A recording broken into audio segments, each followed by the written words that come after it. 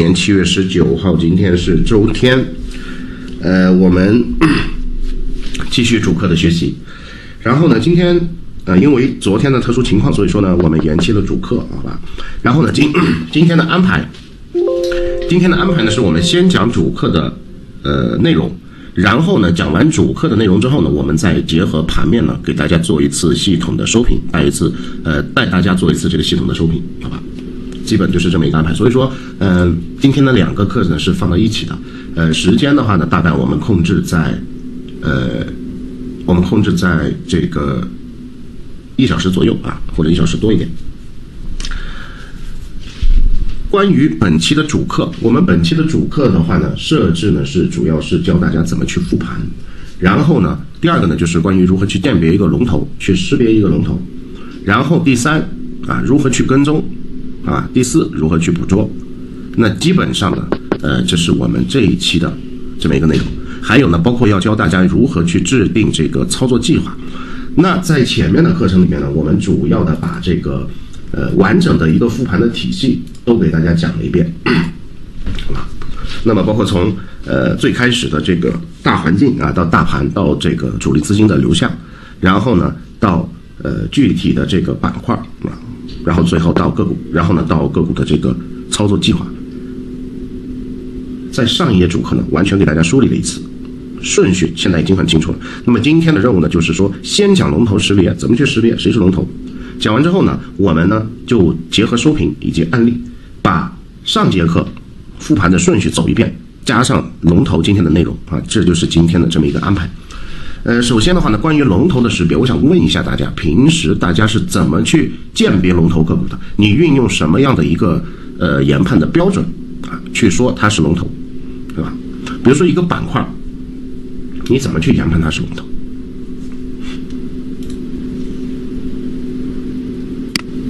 最快涨停，有同学说是最快涨停的那个，有的人说是连板最多，有的人说是时间啊，等等，有各种各样的答案。首先，首先有一个这个关于认知的问题呢，我要先给大家讲。龙头它有几只啊？龙头呢，首先注意啊，它并非唯一，它不是唯一的，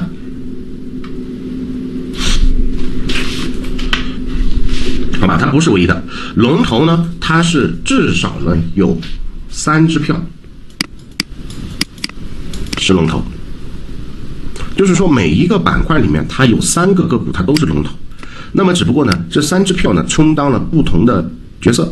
那么，我们通常来讲的那个龙头票呢，呃，一般是指涨停最多的那个票，也就是大家认知的这个连板啊，连板最多的那个票，就是普遍意义上的龙头。但实际上呢，除了连板最多的那个票之外呢，还有两个龙头。但是呢，另外两个龙头呢，就很少受到大家的关注，好吧？所以你要做龙头。你一定要先知道这个龙头的情况啊。那么，呃，比如说啊，龙头它一般呢有三只，第一只呢就是叫做，你可以理解为这个行业龙头，对吧？行业龙头，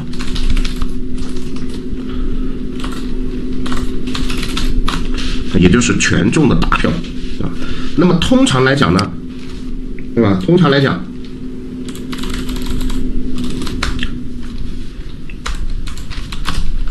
通常来讲呢，权重的龙头股，它是一个板块里面，或者这么讲，我们一起互动来讲啊。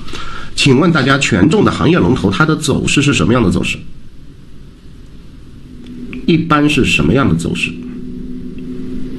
啊，那么行业的权重龙头呢，通常为趋势个股，并且呢，它通常呢运行在这个涨势中。是吧？涨势，甚至呢是这个主升，是吧？甚至是主升，这个就是一般的权重龙头它会走的，呃，这么一个路线。待会儿呢我们会去具体的去讲。那么第二个呢，就是叫做这个，呃，你可以叫做，嗯，通常呢，这个很多的。很多的这个同学呢，可能看网络自媒体啊等等的，那么通他们通常来讲呢，呃，叫做中军龙头，但是呢，我个人不喜欢这么去理解啊，我个人理解呢是一个核心的龙头，中军指什么呢？中军呢，它就是泛指，中军泛指的是盘子啊，流通市值不是特别的大，然后呢，也不是特别的小，比较适中的一个票。因为作为行业的权重来讲，也就是说，它如果是这个板块的龙头，你比如说茅台的了这个这个白酒的龙头呢，它就是茅台，啊，茅台呢，它属于行业的龙头。那么可能有另外一个呢，就是核心的龙头啊。假如比如说五粮液啊，或者说是其他的一个，它的市值小于茅台的啊，但是呢，它的走势的它的涨幅远远超过茅台的，那么就是说连续的运行不停涨涨不停的这种票。那对于茅台的走势呢，它就是涨涨调一调，涨一涨调一调，涨一涨调一调，涨一涨，它就主一直在保持一个上涨趋势的这种票。然后呢，伴随着它的流通市值非常的大，这种呢是权重。行业龙头，呃，核心龙头呢，就是短时间内啊，短时间内，比如说进入主升浪的票，在运行主升浪趋势上涨的票，那么这一类票呢，它不一定是这个连板，好吧？就是这里它不一定是以连板的方式在走，但是呢，它可能是呃中到大阳，中到大阳，然后呢假阴啊，或者是一个真阴缩量的，然后呢继续的中到大阳，中到大阳就这么往上在走。那么这个呢是板块里面的这个叫做核心的龙头，也就是中军。那么这里我们再用一个板块来举例，那么比如说免税啊，免税板块的行业龙头是什么票？免税板块的行业龙头是什么呀？对吗？是中国铝业啊，现在叫做中国中免。这个之前我们就给大家讲过。那么核心的龙头是谁啊？免税的核心龙头，它就是王府井嘛，对吧？它就是王府井。那最后，对吧？最后呢，它会有一个这个叫做，哎，你可以理解为可能叫做先锋龙头啊。先锋龙头呢，通常的表现形式就是连板，通常的表现形式呢就是连板。那么比如说，呃，这个百联股份啊，广百，对吧？等等的这些呢。啊，它都是属于先锋龙头的，或者叫做补涨的龙头也可以。那么，所以说整个关于龙头的一个识别，你就就要有一个认知啊，你要有一个认知。呃，不要说，哎，我抓了一个龙头，那你抓的是什么龙头股，龙头它有区分，那么这就是主要的区分啊。一个呢是行业内的权重，那么我们现在呢，比如说我们就边讲边看啊，这样呢便于大家去理解。首先是中国铝业。呃，叫中国中免啊，现在，呃，中国中免。那么你可以看到，啊，这是一个，就是说，在这个在它之前，好吧，在它之前，那么我们来看一看，这是一个中国中免的这么一个呃走势啊，它是，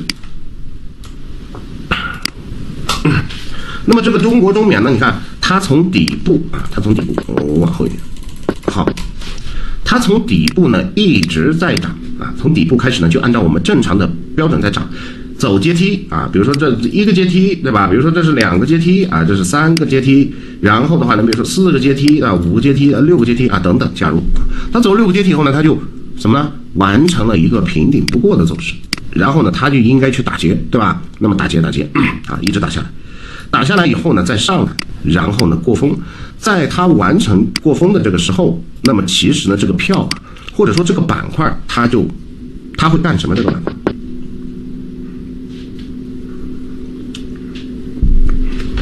当行业龙头开始进入主升浪的时候，那么这个板块呢，它就可能会啊，它就可能会走强，或者说是呃开始走强，好吧？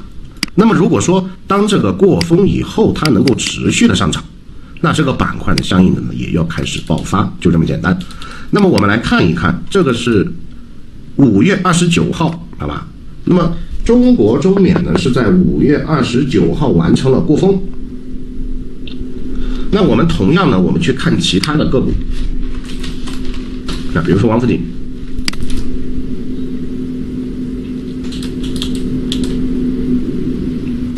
那么王府井呢是在五月二十九号，大概是在这里啊，在这里，它是完成了一个加速的这么一个。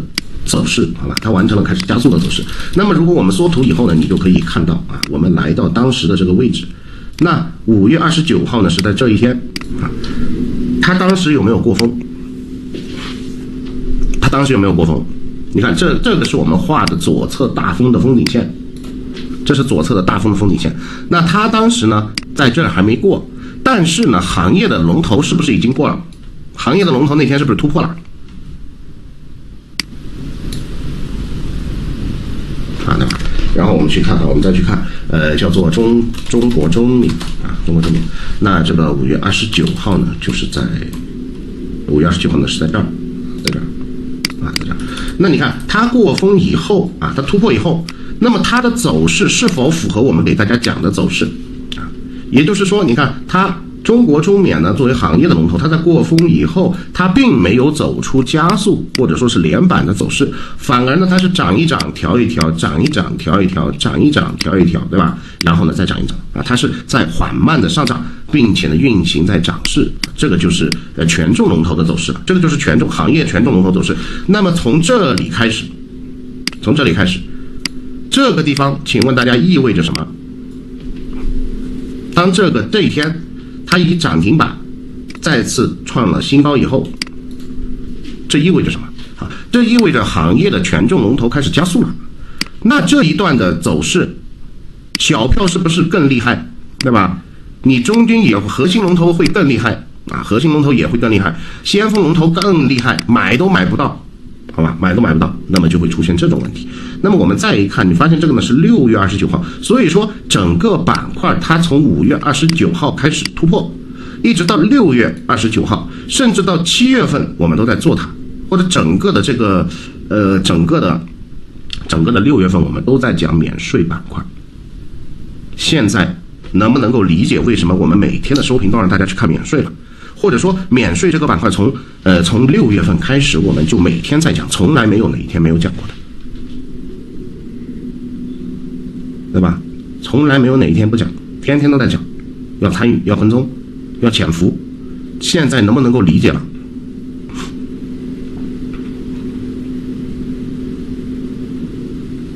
好，那么这个就是呃权重和先锋的关系啊。呃，六月二十九号，然后我们再去看王府井。那么王府井呢？你到达六月二十九号的时候呢？你看，六月二十九号在这儿啊，它五月二十九号在这儿走了一波啊，六月二十九号呢在这儿，然后第二天呢直接就是一字了。直接就是一字了，那，对吧？然后我们再去看其他的票啊，比如说这个，呃，百联股份啊，百联股份，六月二十九号，当时我们让大家去看它的时候，它是不是刚好调整完，对吧？当时百联股份是在这儿，然后呢，我们是在第二天提示大家阳盖阴的，记不记得？是不是？对吧？那么从十三块啊，十三四十四块吧，从十四块一路杀到二十九块，翻倍，啊，翻倍。那么这个呢，百联股份呢，它就属于是板块后期爆发的这种，呃，它应该算是补涨的龙头啊。但是呢，你可以理解为先锋龙头一样的，因为它是以连板的方式去完成的。但更多的，确切来讲呢，它属于补涨。呃，然后的话呢，比如说广百股呃，我们看一下，这是六月二十九号，五月二十九号它还在哪里？五月二十九号呢，它还在下面，啊，是吧？五月二十九号还在这儿，啊，在这儿。然后呢，刚刚什么呢？刚刚的过了左侧的大风，那么这个呢就是它。呃，你再去，比如说广百股份啊，你再去广百股份，那一样的啊。广百股份的话呢，五月二十九号是在这儿，然后呢，六月二十九号在哪里？啊，六月二十九号是在这里啊，那么他们俩呢是属于后面的第二轮的这个补涨的龙头，那明显的百联呢就要强过这个广百，好吧？广百呢是在第一轮的启动的时候呢比较强，那以后讲到现在啊，那么大家应该对我们这里讲的行业核心以及先锋有了这个深刻的这么一个认知了，好吧？有了一个深深刻的认知，呃，也就是说，首先是。权重先行啊，注意啊，权重，权重先行，然后的话呢，核心，核心跟上，这个呢就是这个意思啊。然后呢，核心加速，核心加速后面是什么？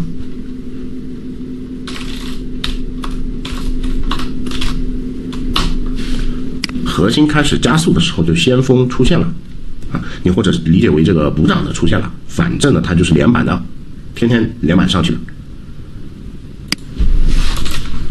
呃，就是这个呢，就是关于啊，这个是关于龙头的这么一个认知，好吧？大家清楚了没有？我们用整个的这个实盘的案例呢，给大家讲过。这个呢，以后呢，大家就要去跟踪去，好吧？就要去，你每当有板块爆发的时候，你就要去知道，哎，大概是这么回事儿。然后的话呢，有了这些理论的认知以后，在你的选股的时候呢，嗯，运用我们平时教大家的量学的知识，像这样的股票，你看高位出高量，反包涨停，缩三一，缩缩，然后呢，这个是一个假阴真阳啊，假阴真阳次日缩量，主动撤退，对吧？跳空阴下跌啊。高开冲高回落加跳空阴的组合，这叫主动撤退。哦，呃，抱歉啊，说错了，修正一下。跳空高开冲高回落加次日跳空阴缩量下跌，这个叫做被动撤退，不是主动，说错了，被动撤退。主动撤退是第一天是涨的，第二天直接跳空阴，这个叫主动撤退。那么这里的主力呢，就这种直接撤退了。撤退呢也没有量，好吧？没有量呢，它回踩到了前面，前面这里呢，你乍一看它是一个一呃这个这个 T 字板啊一字板，但实际呢它是一个 T 字板。并且呢，它是一个带量的 T 字板，所以说呢，在这个位置呢，它就会有支撑。那么如果说这个 T 字板它不带量啊，它是没有量的，那么这个位置呢也不具备支撑，那么它大概率呢会跌回到这儿来啊，跌回到这儿来，好吧，在这儿寻找到支撑，因为只有当有量的地方呢，它才会有支撑。所以呢，主力介入之后啊，也就是说经过一轮的拉升以后呢，在这里呢释放完了原先的套呃这个获利盘啊等等套牢盘，释放完了以后呢，洗了洗盘啊，洗不干净，量能下不去，直接往下打。打回来以后呢，洗干净了，出现低量，然后呢，在它阳盖阴的时候，我们就开始跟踪了。那么刹车啊，换挡对吧？直接就上来了啊。这个呢，就是呃，这个呢，就是这个关于这个票的走势啊。那么你说到底呢，你只是我们刚才讲的呢，只是一个理论的认知啊。你要知道龙头是这样的，然后呢，具体能不能抓住这个龙头呢，还是要去用到我们的呃教给大家的基础知识以及综合研判去。去这个分析具体的个股案例，而不是说你掌握了这个认知以后，哎，你好像就可以去抓到它了啊，不是这么回事儿，好吧？那么这个呢，就是呃关于龙头啊这一块儿。那么龙头有了之后，比如一个板块里面呢，它就会有多只啊多只先锋，或者对吧？或者叫做补涨。那么现在好了。这个先锋和补涨里面呢，它也是分着顺序的啊，对吧？它也是分着顺序的。也就是说，这个一二三，他们三个是不同的领域，具体他们三个什么关系，也给大家讲了。行业龙头是先行者，先过风啊。呃，核心龙头过风呢，能够继续的话呢，那么就说明这个板块呢大概率就要爆了。那这个时候呢，你就要去选择这个先锋的或者说是补涨的龙头。那这个时候呢，当权重行业龙头在走趋势，核心龙头已然过风启动的那一天，那么会有一个状况的出现，也就是在启动当天啊，比如说，就在启动板块启动当天啊，会存在多只涨停个股，如何啊？如何分辨？如何分辨先锋龙头？应该叫做潜在的先锋龙头。那么现在就问大家了，行业板呃这个这个今天这个板块爆了，爆了。那么今天爆了之后呢，就有多个票涨停，这涨停的票啊，它都有可能会成为这个先锋龙头，或者说是不涨龙头。那么现在请问大家，怎么去在多个涨停板里的票啊，多只涨停票里面呢，去分辨哪个是强的，哪个是弱的？怎么分辨？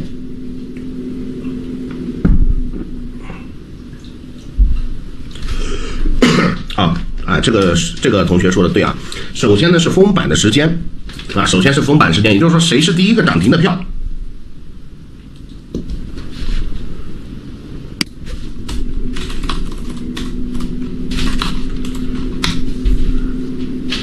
除了时间之后呢，对吧？除了时间呢，还有什么？除了谁最早涨停，你还有能够用什么其他的东西啊？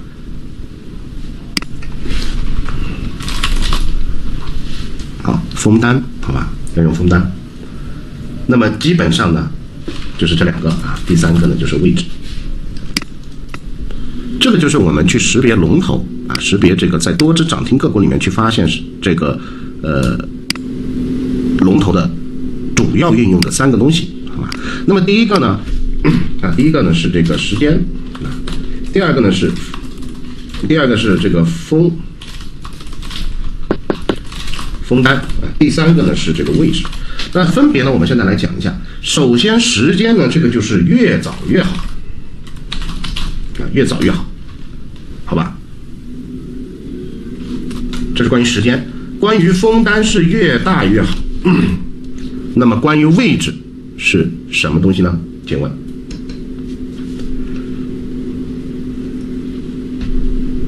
对吧？关于位置呢，你是要运用啊，运用这个看盘八法啊，研判啊，看盘八法研判啊，位置最好最好处处于啊过风，或者是走主升的位置，明白没有？也就是说，有的票它可能是涨的这个，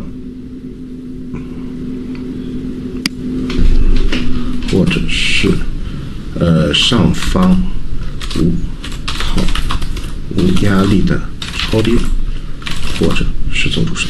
那么位置呢，一共有三个地方啊，也就是说，第一个位置呢，也就是过风的位置，过风的位置。对吧？前面呢，它可能前面折腾了很久很久很久，然后突然呢，在这个过峰的位置呢，出现了一个涨停板，那么很可能呢，它就是一个启动的涨停板。这是关于过峰的位置。那么第二个呢，就是说它是处于在底部，经过了长期的超跌啊。你比如说，就下跌、下跌、下跌、下跌，是吧？然后下跌，然后呢，在这里呢，啊，横了一下，横了一下，横了一下，然后呢，再跌，再跌，再跌，再跌，再跌，再跌，再跌啊。跌到这种，跌到这儿之后呢，然后呢，他就在这儿走了一个这样的啊，这样的，然后就从这直接就上来了，好吧，就从这直接上来了。呃，那么这样的形态能不能够理解？不能够理解呢，我会详细给大家讲。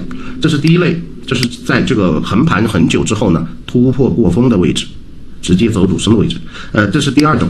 第二种呢是属于叫做长期超跌，但是呢上方无压力，也就是说你第二种的票超跌的话，可能它的量爆在这儿，或者是爆在这儿，从这个位置 A 转移到了位置 B，然后呢从 B 这里开始呢，它就是连续三 S 的，好吧，连续三 S，那么这个时候呢就会有存在四大美女啊，呃或者说是红肥绿瘦啊，一个意思，然后呢超跌连续跌。跌了一二三四五六七，甚至更多啊，甚至到十，跌了十个平台的票，七到十个平台的票。三 S 就是缩量三一，缩量二一，缩为百低。三 S 就是首跌、首跌、首跌、首跌，全部是缩量的，只要是下跌，它都是缩量三一以上的，就是三 S 了。那么，当它超跌到底部之后，会稍稍的做一个刹车，或者说是换挡，它有可能是，呃，它有可能换挡就直接起来，它也有可能是刹车换挡，等到加油再起来。那么，但是呢，在底部的这个刹车和换挡呢，通常来说呢是不会出涨停板的，好吧？通常说是不会出涨停板的，就是这个呢，可能是很小、很不起眼的那种，啊，卧底矮将军啊，卧底黄金柱那样的走势，然后。直接从这儿启动啊，那么它启动的时候呢，通常来讲呢，这种票呢，它就会伴随有一个这个，它可能会有一个一剑封喉啊，它可能会有一个一剑封喉在这个角落里面。那么当它突破一剑封喉的时候，就直接就往上报，好吧，直接就往上报。呃，那么这是第二类，属于是超跌的。啊，那第三类呢，其实和第一类呢差不多，它就是走主升浪的位置、加速的位置了。只不过呢，第一类呢泛指是过峰，那么还有一种呢，它就不是过峰的，它就是过完峰以后保顶、保顶、保顶、保顶啊，然后它走了啊。那么这种呢就是第三种，好吧？就是说完成过峰保顶后创新高的，那么这种呢是属于第三个位置开始走主升位置的。关于位置清楚了没有？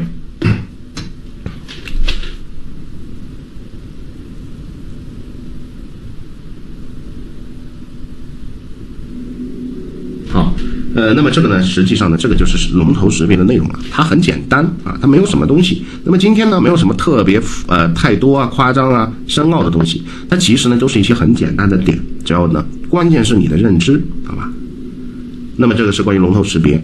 呃，那当下啊，当下周五有没有什么板块涨得特别好的？周五有没有什么板块涨得特别好的？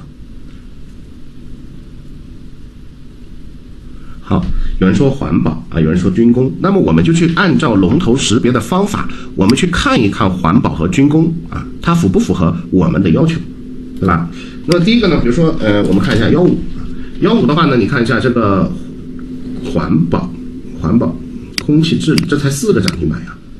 环境保护，那么我们就先到环境保护这个地方啊，先到环境保护这个地方。首先呢，环保呢，你进来之后呢，第一件事情是干什么？你进到环保板块，第一件事情是干什么？对吧？你进到这里来，你第一件事情，你先看看这个板块有几个票涨停。哎，你发现它有六只票是涨停的，六只票涨停，然后你再看一看这六个票的权重占比。对吧？你发现它有没有我们需要的东西？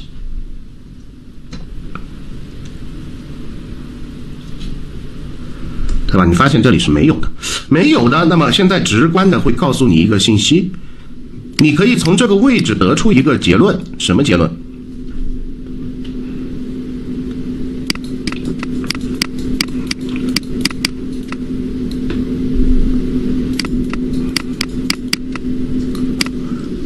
它对吧？它板块不会大爆，它没有启动的迹象，因为第一个呢，权重呢，它一般是走趋势的啊，走趋势。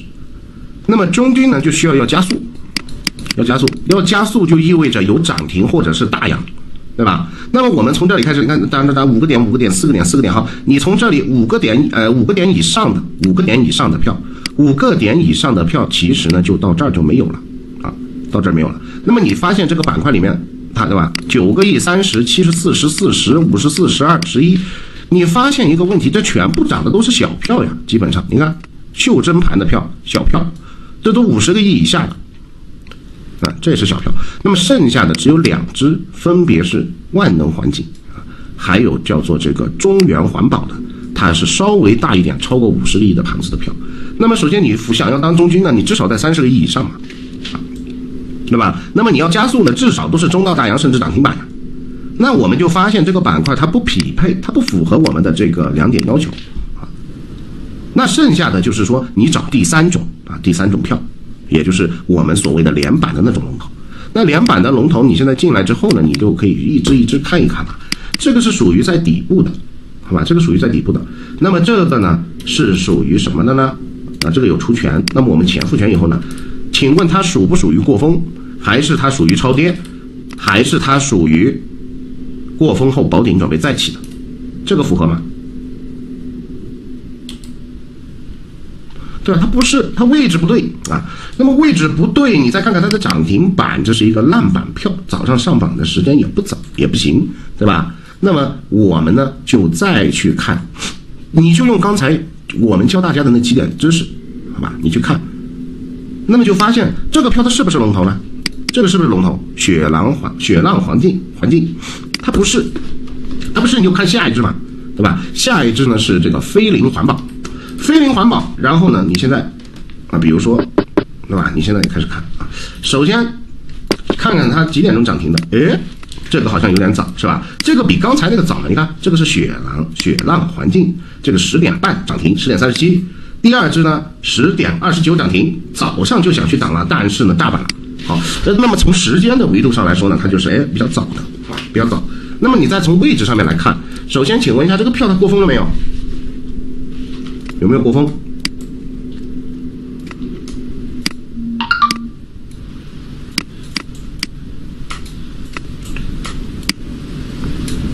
它还没过，对吧？它还没过。那么你再看一下。啊，这个位置，比如说你在这儿画一条线啊，你在这儿画一条线，然后呢，你可以看它还没有过啊，它还没有过，对吧？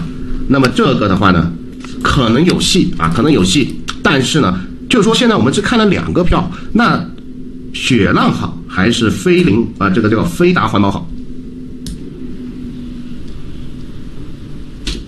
对吧？那肯定是飞达好了。然后我们继续往下看，那现在来到了一个叫天豪环境的。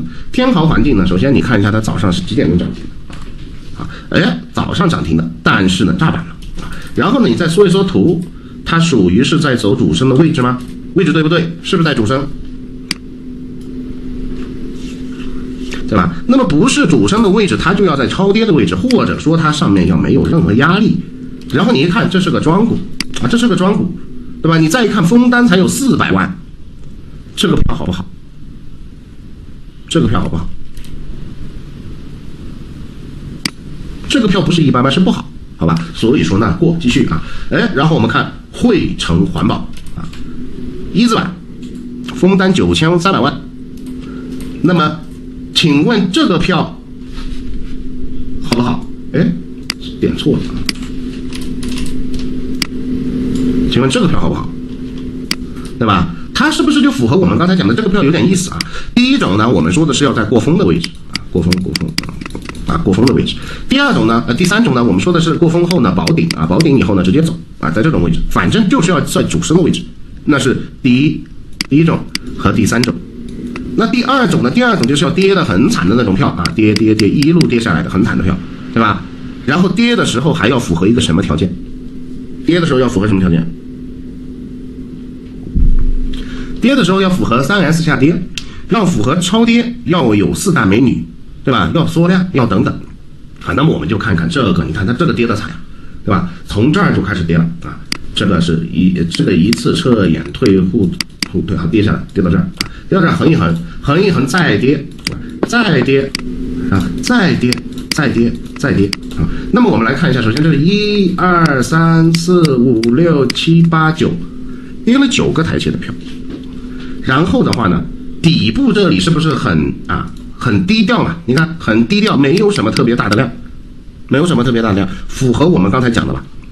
卧底王牌，卧底黄金，走个小阶梯，一突破，对吧？那么，呃，通常来讲呢，还会有一个这个一剑封喉的位置，啊，一剑封喉的位置，或者说是这个呃下跌一剑封喉的位置，对吧？那么这个票呢，它不太符合一剑封喉的位置，但是呢，它的这个下跌趋势的终结就在这个位置，所以说，哎，这个票呢，跟我们讲的好像都很符合，好吧？那么我们再来看一看它的下跌是不是三 S 下跌？呃，那你看一下啊，拉大一点之后呢，你就会发现。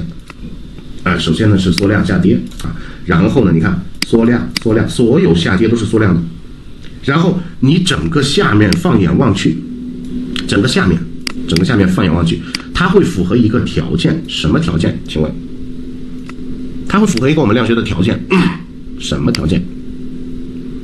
啊，它会符合一个这样的条件啊，它会符合一个这样的条件。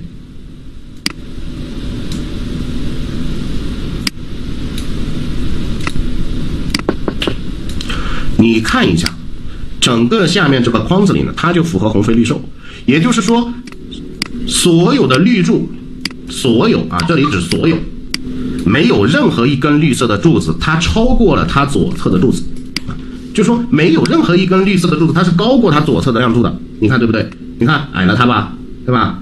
然后呢，这儿你看矮过它们，啊，这儿矮过它们，这儿矮过它，这儿矮过它，这儿矮过它，这儿矮过它，这儿矮过它。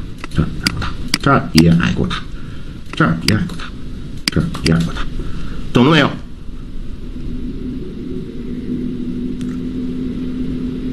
啊，红肥绿瘦不单单是指红的多绿的少，红肥绿瘦更重要的就是指没有任何一根绿色的柱子超过它左侧的红柱。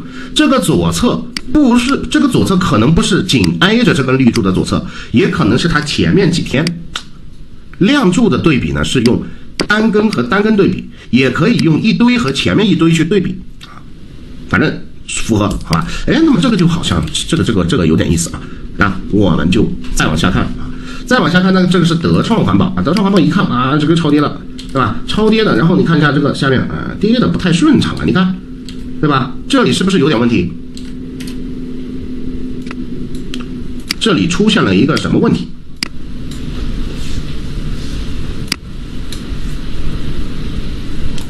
对吧？这里出现了一个问题，就是说这个绿柱啊，绿柱高过了红柱，它高过了红柱，但是呢，你还要根据它上面的价格走势来看。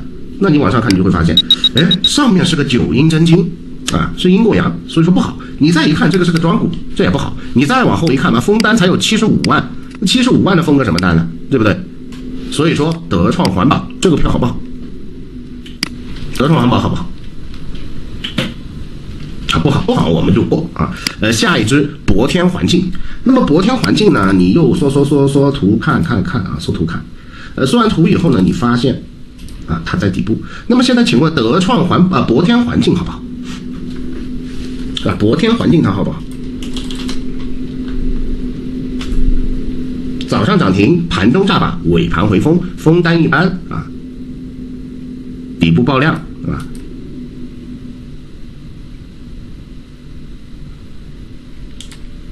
这个票好不好？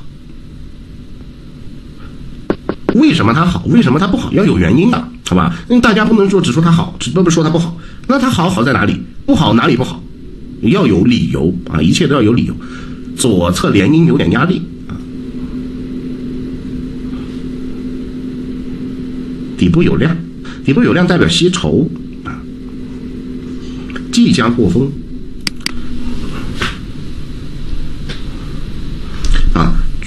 封单少烂板，这个是因为它是有资金在运作的票，好吧？这个有资金在运作的票。那么总的来讲呢，这个票的还可以，好吧？还可以。主要可以的位，主要可以的原因呢，是因为它的这个位置比较低，它是超跌的。但是呢，它不是我们要的龙头股，它不是我们要的龙头股，它不是我们要的龙头股。先不要管分数，好吧？先不要管分数，分数呢是后话。因为刚才我们给到大家的这个标准里面，它就没有分数这一项，分数是用来防止你踩雷的。但现在的研判是不基于分数的研判的，分数它只是一个参考，它不是我们量学里面的标准。我们研判一只个股，要通过这个个股的量柱、价柱、走势综合去选择它，而不是因为一个分数去选择它，好吧？所以说不要纠结于这个分数，分数的目的是为了防踩雷。但是我们现在去教给大家的方法呢，你要通过量学的标准来去研判它。那么，请问大家，如果根据量学的标准来讲，第一，它是属于一个超跌的票，对吧？它是一个超跌的票。第二，这个票好不好啊？这个票好不好？从它的建构、形态、位置，好吧？那么从建构也好，从位置、从形态来说，它是一个好票。很简单嘛，它是呃，这个全都是缩量下跌下来的，红飞绿瘦啊，你看红飞绿瘦下来以后呢，底部还有频繁的爆量，那么说明主力在吸筹。对吧？然后这里来了一个百高量的涨停板，你看百高量涨停板，然后呢过了什么呢？过了这个左峰啊，过了这个峰，啊过了这个峰，这是一个百高量烂板涨停过峰的票。那么从它吸筹的角度来讲，加上它过峰的走势，这个案例呢后市呢它是会有表现的，但是它不是我们要的龙头啊。我们现在是要去看谁是龙头。那么当你去一个板块里面你去看票的时候，你发现了，我我这么讲吧，你如果看懂谁是龙头，你是去做龙一还是去做龙二还是去做龙三，还是去龙五？你去做哪只？对吧？你肯定是强者恒强，你肯定能做龙头做龙头啊。龙一，龙一搞不定了，我就去搞龙二，龙二搞不定，那我最多搞到龙三，剩下的我都不看，对吧？那么现在就问你，呃，我们刚才看了这几个票，博天环境它是龙几？博天环境它是龙几啊，对吧？它肯定不是一二三，它肯定不是一二三。所以说，我们要不要看它？要不要看它？对，不看嘛，分数又低，你又不是龙头。你要说你是绝对龙头了，那你分数低一点，我还好好去研究研究，你看看能不能够哎，对吧？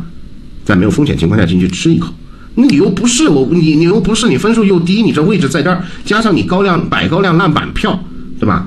呃，加上你前面的谷底线你都没有过，你谷底线你都没有过嘛，你没有过，那大概率是调整嘛。所以说我怎么可能去选择你去当龙头呢？啊，所以说不是，往后翻，绿色动力啊，绿色动力是没有涨停，好吧，没有涨停，你再往下翻，没了。那么现在我们一共是翻了几个票呢？我们一共呢是翻了一二三四五六六支票。那么这六支票里面，谁是老大？现在问，对吧？谁是老大？对嘛？汇呃汇成环保是老大嘛？汇成环保是老大，字号是老大，老二是谁？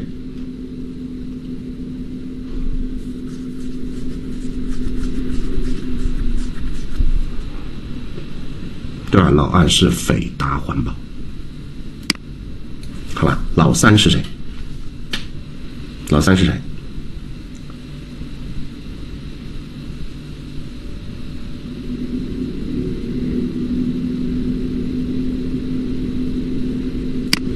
啊，你再看一看啊，这是雪浪，这是老二，然后呢，老三应该是谁？啊，老三呢应该是。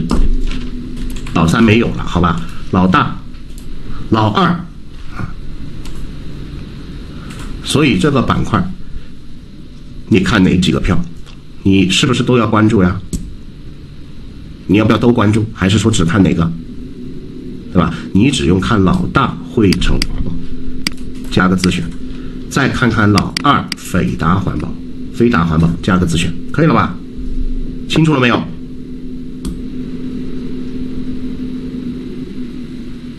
好吧那 OK，那个就是这个是关于呃环保板块的啊，呃，那么我们看一下环保应该还有这个它还有票，环保还有票，呃，实际上的话呢，我们来看一下啊，这里跟大家讲一下，老大是汇成啊，老二呢其实呢是这个金模科技，这是老二，那么只不过呢它不在这个它不在刚才的环保里面啊，但是这个呢它是属于污水处理的概念。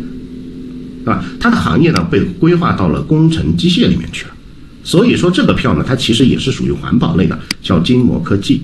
那么这个票你看一下，它符不符合我们讲的位置？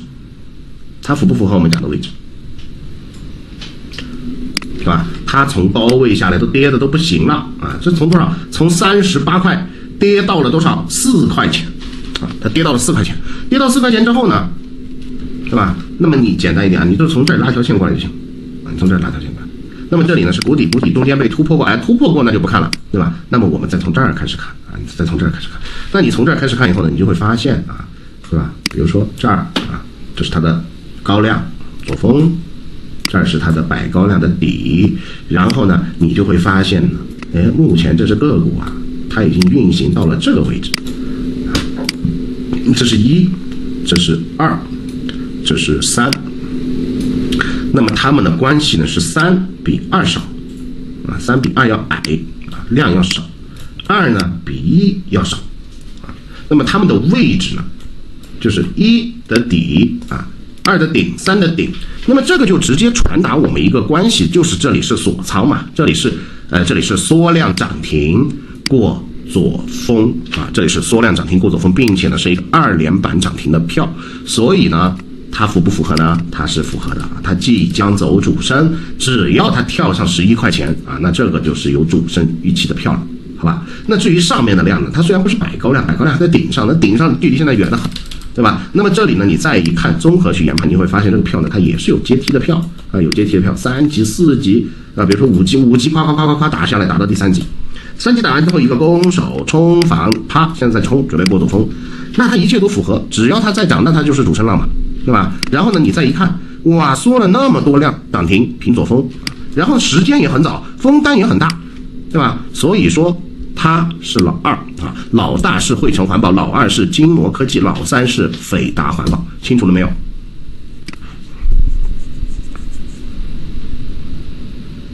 好，呃，但是啊，但是像这种板块呢，它就没有我们要求的什么东西，它没有什么。目前呢，我们还没有去看这个。行业龙头，还有核心的龙头，对吧？那么这个的话呢，就可以留给大家做作业。你要去环保板块，你看一看有没有行业的龙头在走趋势，过风了再走趋势。你要看一下有没有核心的龙头已经过风了，在走保顶的，对吧？那么你要去看，如果都没有，那么就说明这个板块怎么样？如果都没有，就说明这个板块怎么样？对吧？没有就说明这个板块可能就是小打小闹嘛，持续性不强啊。那么持续性板块持续性不强呢？除非它后市龙头能够走的特别的强啊，那么才能带起板块啊。那么综上所述呢，这个就是关于呃龙头识别的一个主课内容了，清楚了没有？清楚，请打一个一。好，OK，那么这是我们今天主课的内容啊，关于龙头识别。呃，今天教给大家的更多的是一些方法和技巧。那么只要你按照这个方法和技巧，一步一步的，就像复盘一样啊，呃，当你遇到一个板块的时候，你去复，你去筛选就可以了，好吧？那么只要它符合，它符合这些条件呢，那它就是；它不符合，那就它就不是。OK，这是关于龙头识别啊，龙一、龙二、龙三啊，行业龙头、核心龙头、权重龙头。OK，呃，那么我们主课呢，今天就讲到这里啊，谢谢大家，然后我们下节主课再见。